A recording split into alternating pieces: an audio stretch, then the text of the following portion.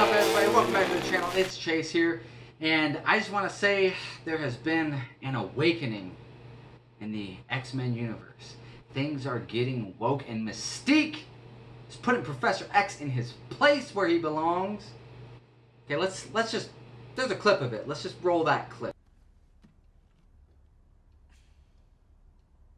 It's funny.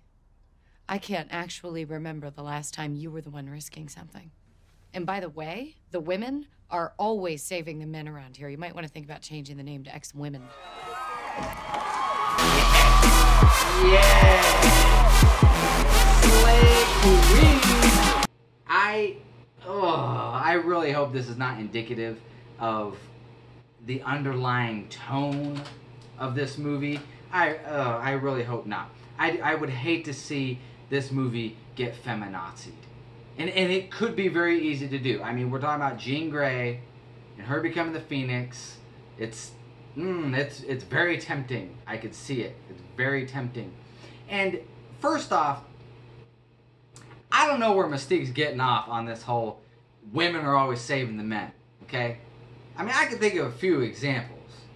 Like, I don't know, when Magneto in first class kind of stopped all those missiles from raining down on them. He like just send him back into the atmosphere. Or when Quicksilver, okay, when he ran through the mansion as it was exploding and saved all the kids inside. Or when Logan in Days of Future Past, when he went back in time to basically change the future and to stop to stop Mystique from doing something stupid that was going to cause the apocalypse and the end of the world. Yeah, Mystique. Look in the mirror. Now, I get it, Mystique. There are mistakes in my life that I wish I could just forget. But we can't forget. The big deal here is the Phoenix Saga is one of the it is the most important storyline of the X-Men universe in X-Men canon. When Chris Claremont wrote it, it was huge. It was a culmination of so many things of Jean Grey, of Cyclops and Jean Grey, of Logan and Jean Grey, and a lot of the other X-Men. And when it came out in the animated series, I was there. I was a kid. I saw it as it played out on television. I didn't go back and rewatch it. I literally saw it as it came out on TV. And it was an amazing experience. Obviously, because I still remember it to this day as it happened. Okay? This story literally writes itself. Actually, it's already written. All you have to do is literally just follow it and let it tell itself because it's an incredible story. And it would be a disaster and so heartbreaking to see it just get ruined with political ideology or being preached at or just some, uh, you know, underlying message of just whatever, of SJWism or, or whatever the ilk is out there.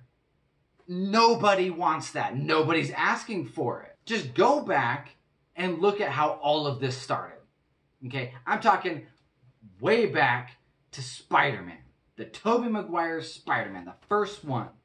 Okay, that's how it was built. It was built on story and adventure and getting into the superhero world and fantasy. And then along with it came Batman Begins. And that is where the superhero culture and movies was actually taken seriously as it could be a real drama and gritty and dark.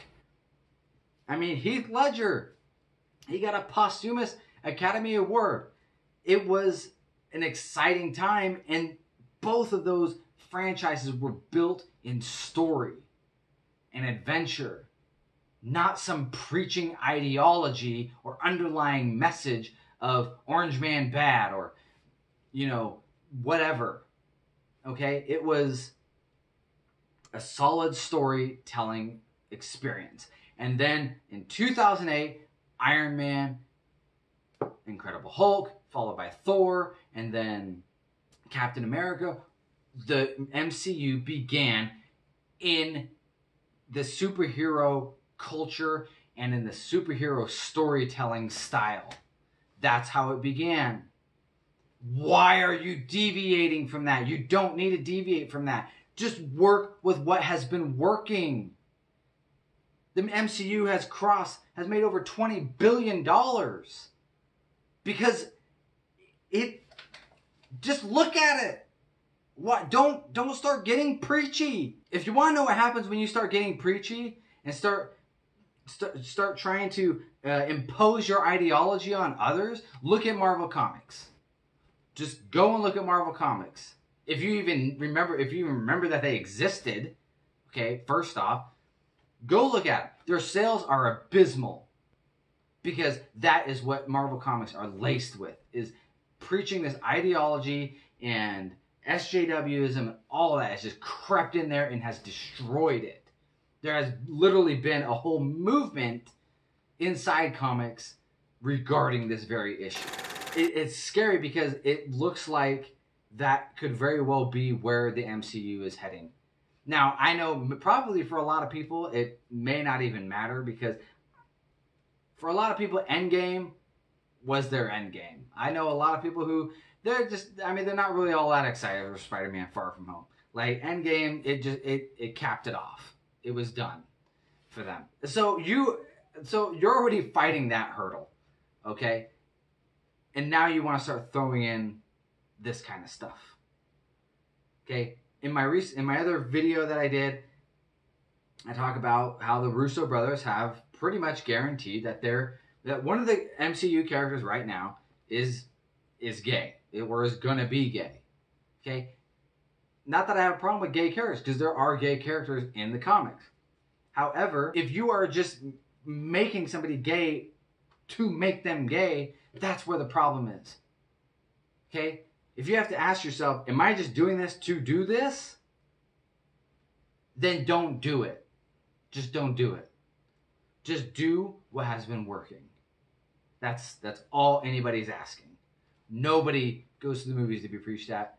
Nobody goes to the movies to come out with some open mind idea, ide, ideology that they've learned. Nobody cares about that. There are movies that do that, and there's a place for them. Superhero movies aren't it. So anyway, if you like this video, please like it below. If you haven't already, subscribe because there are more videos like this every Monday, Tuesday, and Thursday, and sometimes on the weekends. Anyway, have a great day. Peace out.